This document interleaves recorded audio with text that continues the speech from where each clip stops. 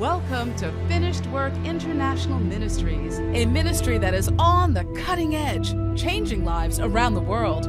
As you let God in today and apply the word, expect a divine encounter and supernatural transformation. It is impossible for you to be defeated when you have the revelation of the will of God. It is impossible for situations to subdue you when you walk in understanding of what God is saying to you. Let the finished work of Jesus determine what you pray. When God is your source, you don't look back. You keep looking forward. You keep trusting. God, I trust you. Here's Apostle Faithman Ogboada. Glory be to God. Hallelujah. This is the day the Lord has made. Or rejoice and be glad. You're welcome to this live Jerusalem broadcast as we receive the engrafted word of God. And today be talking about God's word. That's what I want us to look at today. Do you value the word of God? Do you place value on his word? All it takes to win and to reign in life is within God's word. Your success and victory is directly related to the application of God's word. You know, Jesus was sharing, he said, You will know the truth, and the truth will make you free. You know, the truth liberates. The truth is God's word. It doesn't matter what the situation may be for you right now in the natural, it is subject to the integrity of the word. So today we're going to look at the scripture. Let's go to Joshua. Thank you, Holy Spirit. In Joshua chapter 1, Joshua chapter 1, verse 8, it said, This book of the law, you know, I could, uh, thank you, Lord. Okay, let me just read it. I just want to get to the scriptures. Okay. Let's study together. In Joshua 1 verse 8 it said, This book of the law shall not depart out of your mouth. See, what, what do you do with God's word? You use God's word to determine what you want to receive, what you want to see, what you want to receive, what you want to manifest. So here he said, This book of the law shall not depart out of thy mouth that simply means I need to have God's word coming out of me. You know, the scripture said, out of the abundance of the heart, the mouth speaketh. Out of the abundance of the mouth, the heart, the mouth speaketh. So, if I have God's word in me, that word has the ability to change any situation. And he said here, This book of the law shall not depart out of your mouth, but thou shalt meditate therein day and night, that thou mayest observe to do according to all that is written therein. To meditate. The first thing I want us to look at today is place value on God's word. Value God's word. You know, for some people, it's just a Bible, but for others, it is the living Word of God. It's not just a historic book. For some people, it is the living Word of God because they've come to see the Bible as the living Word, not just a storybook. You know, for some people, they just, okay, the Bible is a history of what has happened more than 6,000 years ago, or a history of something that have happened many years ago, and is being documented for people to read for the purpose of history, for the purpose of research. No, no, no, no. We we need to think better than that. We need to be more smart than that. We, we shouldn't end it that it is just a history. Mm-mm. If you see it as just a history, you won't get much out of it. This book is living. This book is alive. The Word of God is alive. There is life in the Word. There is so much energy in the Word of God. If you want to see the manifestation of power, the release of the Spirit, you have to pay attention to God's Word. The value you place on the Word of God will determine the extent of the manifestation you're going to see through the Word. If, if I want to see greater manifestation, it is when I begin to meditate on God's Word, then I believe that word, I speak that word, or I declare that word with an expectation that that word will come to pass. I will start seeing results. Maybe the first time I, I declared the word of God, I didn't see any manifestation. That should not stop me from declaring it or from saying it because some people, if they declare God's word and maybe they didn't see result, maybe they apply the word, stood on the word, maybe nothing is working, and they quickly get distracted. No. Patience is important if you're going to see the manifestation of the word. Patience is important. You know, you, you, you can't just declare the word of God and then because you didn't see manifestation, you walk away. God's word is full of power, but you have to value it. A lot of people don't value God's word. They, they want to get the deliverance, they want to have supernatural intervention, they want to see the miracles, they want to see the signs and wonders. What is going to happen when you choose to stand on God's word?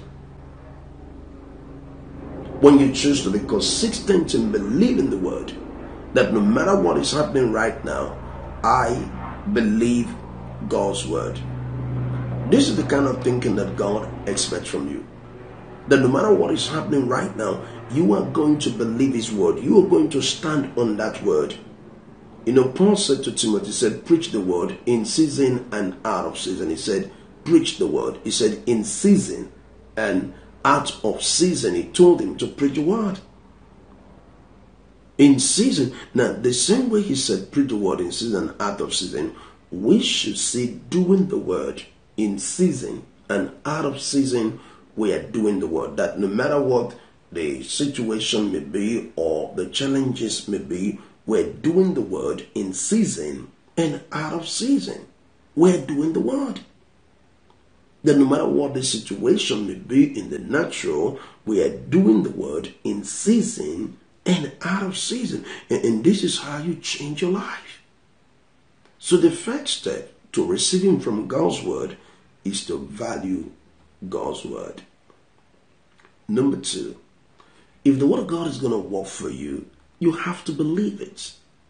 You know, for some people, they said, Well, how will this work for me? How will the word of God work for me? Now the word won't work except you believe it. The Bible said, with the heart man believeth unto righteousness, with the mouth confession is made unto salvation. If you hear the word of God and you don't believe it, that word has no root. It won't take root in you. The word of God takes root in us when we believe it. The word takes root in us when we believe it. The question today is do you believe the word? Because if you want to see the transformation, you have to believe the word. That no matter what is happening right now in your job, in your finances, you believe that with God's word, all things are possible. You see, when you believe God's word, it will determine your approach towards situation, it will also determine your attitude towards situation. It will also determine how you look at situation. Why? Because you believe the word. Because you believe the word, you expect miracles. You expect signs of wonder. You expect supernatural release because you believe the word. He said, with the, with the heart man believeth unto righteousness, with the mouth confession is made unto salvation. The same way we came into the Lordship of Jesus, we came into salvation, it is the same way we're going to receive the healing. It is the same way we're going to receive deliverance. It is the same way we're going to walk in supernatural protection. We believe it, we declare it. We believe it, we declare it. It is important that you believe it. So if I'm reading God's word, and I don't believe the word of God, it is impossible for me to experience increase. The increase comes as you believe. It doesn't matter what you're seeing in the natural right now about your job, about your relationship. These things are subject to change if you choose to believe God's word. These things are subject to change. I can tell you that these situations, these circumstances, these oppositions, they are subject to change if you believe God's word. And someone said, But I believe, but they have not changed. Keep believing. Don't quit from believing. Don't walk away. Don't say, Oh, I've believed the word of God for five years. I'm not seeing anything. I've been a Christian for 10 years. I'm not seeing anything. No. Don't be in a hurry to quit your faith walk because of lack of manifestation of results. What you gotta do is to stay in the place of patience, is to stay in the place of thanksgiving and say, Lord, I thank you because what you said will come to pass. Lord, I thank you. You see, a lot of people give up when they are very close to manifestation.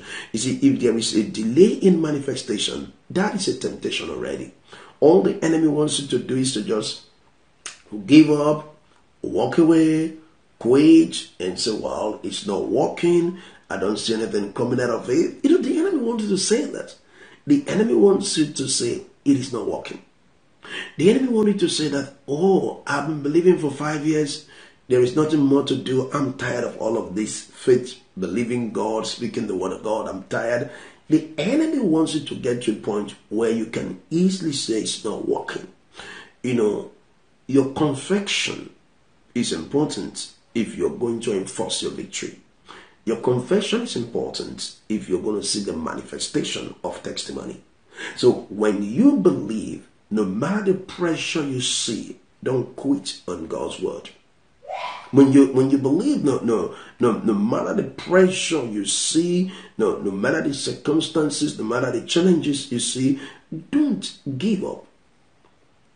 Don't you know? For so many people, they just walk away. Look at the woman of issue of blood in Mark Gospel chapter 5 from verse 25 to 35.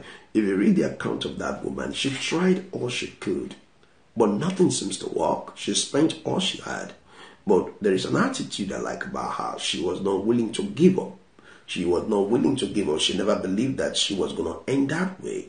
She believed that a day is coming in my life that something will turn around. And one day she heard about Jesus and she believed. And she said, If I can touch, I'll be made whole. You see, when you believe, you'll be on the move to change situation.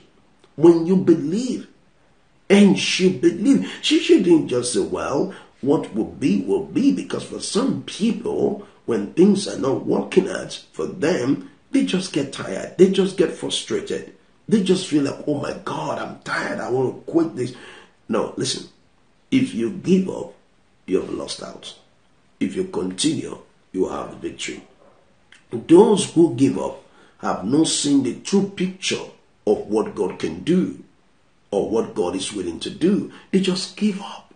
No, no, that's not what would change your life. Quitting won't change your life. Giving up won't change your life.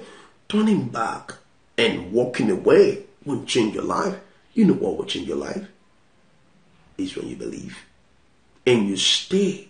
He said, and Abraham believed God. Now, I want to show you what happened when God gives you a word and you believe that word in Romans chapter 4, thank you, Holy Spirit. In Romans chapter 4, sorry, in Romans chapter 4, look at verse 3, he said, For what said the scripture?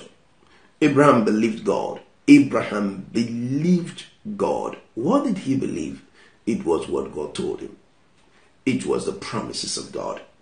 Abraham believed God. You know, sometimes a lot of people just feel like I can't take it anymore. I'm tired of seeing all of this situation. I can't take it anymore. No, he said here, for Abraham believed God, and it was counted unto him for righteousness. He believed God.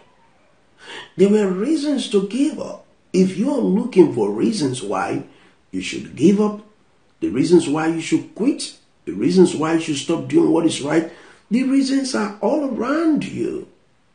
If you're looking for reasons to give up on the Word of God, on the plan of God, on the purpose of God, the reasons are all of it, all around you. It doesn't take anything to give up, but it's going to take you everything to continue. It's going to take patience, it's going to take faith, it's going to take consistency, focus, praise. It's going to take you everything to continue. It doesn't take anything to quit. Anybody can give up. Anyone can just say, I'm tired, I'm walking away, I'm not going to do anymore. Anybody can quit. Children quit. People, you know, quit. But great people don't give up. They hold it until they have it. That's how they work. They don't give up. Other people could just call, I'm tired, I can't do this, I'm frustrated. They can't give up.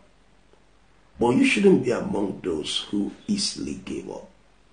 It's not a good testimony that you always quit.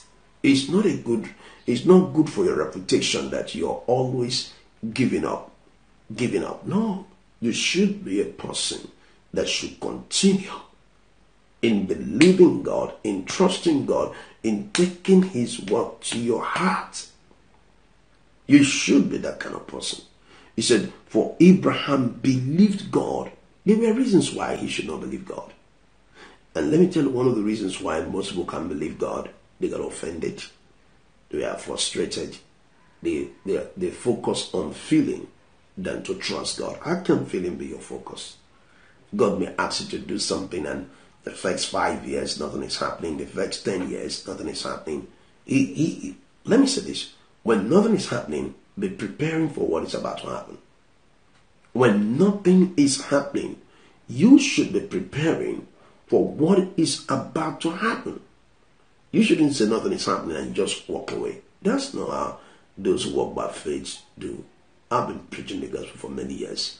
I've had reasons to quit. I've had reasons to walk away. I've had reasons, but none of those reasons are more important than one reason why I should continue.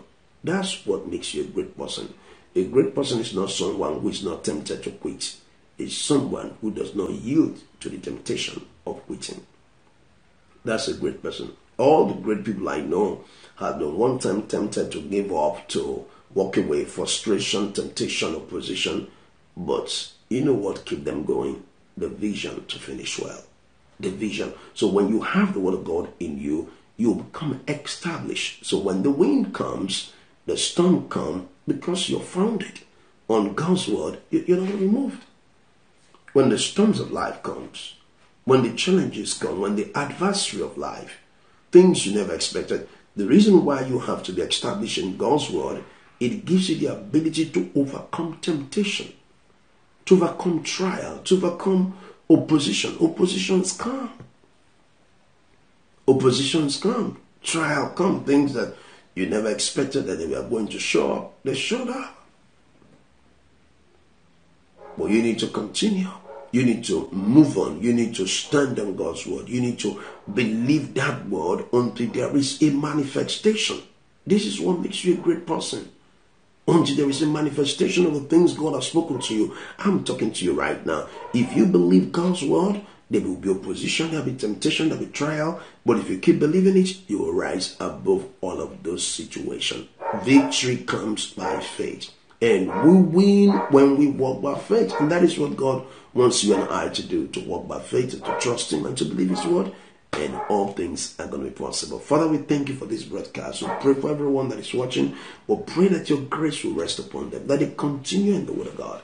They continue what God has called them to do. They continue in their vision. They continue in their assignment. I pray that your faith will, will, will move to another dimension. I pray that the passion for the word of God will grow. That you're not going to quit on what God have told you. You're going to believe that word you've received, that word of God you have received concerning your dream, concerning your marriage, concerning your children. You are not going to walk away. You're not going to give up. I prophesy to you that strength will come to you right now. You'll be a kind of person that God will look up to and say, She is in faith. He is in faith. He is doing what I asked him to do. In the name of Jesus, I decree and I declare that the peace of God that surpasses all understanding will come into your heart. Thank you, Holy Spirit.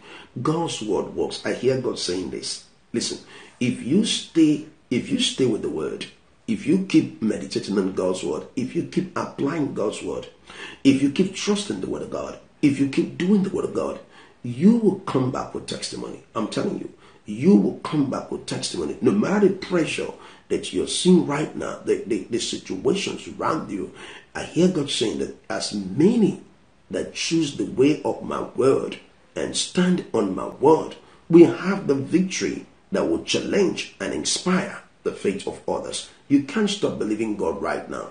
You can. The word of God is full of life, is full of solution. This book has so much answer for your dream, so much answer for your vision, so much answer for what God has called you to do. Has God given you a word? Has He said something to you? You know, sometimes we could just be pursuing the dream that God gave to us, and suddenly it's like a storm just came. An opposition, we never expected it. We didn't see it coming most of the time. But you see, what God wants you to do, He said, like Paul write, He said, Nay, in all these things you're more than a conqueror. If you are rooted in the Word, you will conquer the storms of life. If you are rooted in the Word of God, you're going to conquer the storms of life. The storms are real, temptations are real, opposition is real, but the most important thing is that you should be rooted in the Word of God. If you're rooted in God's Word, your victory will be sure. And this is what will take you beyond your contemporary. So, value the Word of God, meditate on God's Word. The Word is full of life. See, let me show you a scripture in the book of Hebrews. I want to show you this. In Hebrews chapter 4, verse 12. In Hebrew 4, verse 12, watch this. Hebrew 4, verse 12 said this. Thank you, Lord. He said, For the word of God is quick. The word of God is quick and powerful. You know, when you have the word of God in your spirit, you are considered as a powerful person if you have the word of God in your spirit. The most important thing is to have this word in your spirit. In Colossians 3:16 it said, "Let the word of Christ dwell in you richly." Creation came by the word. Creation. If you look at Genesis chapter 1, everything God did, he did by his word. Everything God created, He created by His word. His word was the tool for creation. You see, all you're looking for is in the Word of God. Get to a point in your life where your thinking is being decided by God's Word. Your thinking in Romans 12, verse 2, he said, Don't be conformed to this world, but be transformed by the renewing of your mind. So you get to a point in your walk that you, you, your mind is renewed with God's Word. You renew your mind every day. In Philippians 2, verse 5, he said, Let this mind be in you that is in Christ Jesus. Now, let me say this to you. In Hebrew 4, verse 12, he said, For the word of God is quick and powerful and sharper than two edged sword. The word of God is quick. He said the word of God is powerful. So when you when, when you are reading the word of God, expect revelation. Expect inspiration expect encounter. Whenever you're reading God's word, the word of God is a medicine. Is a medicine. You know, I, I needed to show you that. We read that the word of God is powerful. Let's look at Proverbs chapter 4. In Proverbs chapter 4. Thank you, Holy Spirit. In, in Proverbs chapter 4. Thank you, Lord. Proverbs chapter 4. Thank you, Lord. Hallelujah in Proverbs chapter 4, like us to look at verse 20. He said, My son, attend to my words. He said, My son, attend to my words. My son, attend to my words. Incline thy ear unto my saying, My son, attend Attend. You know, you know, if, you don't give attention to the word of God, you can't make progress. He said, attained. Give attention. This is how you begin to move your life forward. You see, God's word has all it takes to change your life. But for the change to commence or for you to experience the change, you have to read the word. You have to apply the word. This is how you make progress. You have to read the word, you have to apply the word. And he said here, My son, attend to my words, incline their ear unto my saying. Let them not depart from thy eyes, keep them in the midst of thy heart, for they are life unto those that find them, and health to all their flesh. The word is life, the word is health. And, and this is why it's important that you value the word of God that you value God's word. You get to a point in your in your life that you said, No, I need to put the word of God first. I need to put the word of God. It doesn't matter the report you have heard. God's word is the last report. It doesn't matter the report you have heard. Whatever they told you that cannot be changed is subject to change. If the word of God is in operation, limitations will be broken.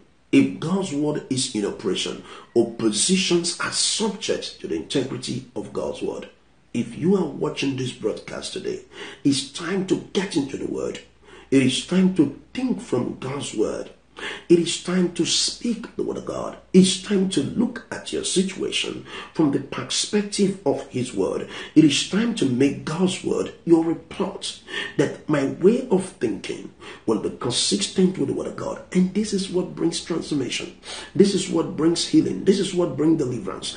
This is what brings supernatural transformation. There is power.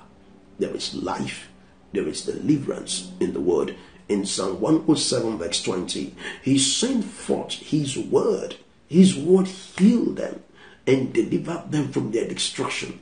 What heals is the word. What deliver is the word. Get God's word into your spirit. You know, one of the ways you experience spiritual progress is by the application of the word. I said one of the ways we experience spiritual progress is by the application of the word. As we do the application of the word, what do I mean by that? By doing the word, by doing what the word teach. If if I don't do what the word teach, I can't make progress. My progress is in the application of the word. Your transformation is in the application of the word. You, you get to a point tell yourself, I'm going to do the word of God. It doesn't matter what has happened, it doesn't matter what the report is right now. I will be committed to the application of God's word. And this is the key to breaking limitation. This is the key to overcoming opposition. And this is the key to unlocking uncommon victory by the application of the word. This situation is subject to change. I want you to understand this. Your health situation is subject to change. Get into the Word of God. The Word of God is a medicine. There is life in the word. There is peace in the word. And there is strength in the word. Value the word of God. Don't see it as a book of history. Look beyond that. See beyond history. See revelation. See inspiration. See insight. And see uncommon understanding. Thank you, Father. Thank you, Holy Spirit. Thank you, Lord. If you're watching this broadcast today and you don't know Jesus as your Lord and Savior, I'd like you to know that Jesus is everything. He heals, He saves, He delivers. And you can come to Him and He will change your life through His Word. And if you're watching today, you don't know Jesus as your Lord and Savior, can you say this after me? Lord Jesus, I confess with my mouth, I believe in my heart that God have raised Jesus from the dead. Thank you, Father, for saving me. Amen. If you pray that prayer with me, means you're born again, and the Holy Ghost will help you from this day forward. I want to appreciate every one of you that is watching the broadcast today and all those partnering with us in ministry. Thank you so much. We appreciate all you do. And I want to encourage you to subscribe to my YouTube channel. It's Faithman Teachings on YouTube uh, when you subscribe, you get opportunity to watch live transforming broadcasts that will empower you to take the lead in the right direction. So subscribe to Faithman Teachings on YouTube. And also I want to encourage you to consider getting our book on Amazon. 40 Things You Need to Know About Your Future is available on Amazon.com. 40 Things You Need to Know About Your Future is available on Amazon.com. You can partner with this ministry today as we continue to take the message of our Lord Jesus Christ to many around the world. You can partner with me today by going to finishedworktv.com and slash giving and support the ongoing broadcast. Together, we're changing many lives around the world and Jesus is being glorified. God bless you. And I pray that the next broadcast will be a blessing to you. Until I come your way soon, don't forget this. There is greatness in you, and Jesus is coming soon.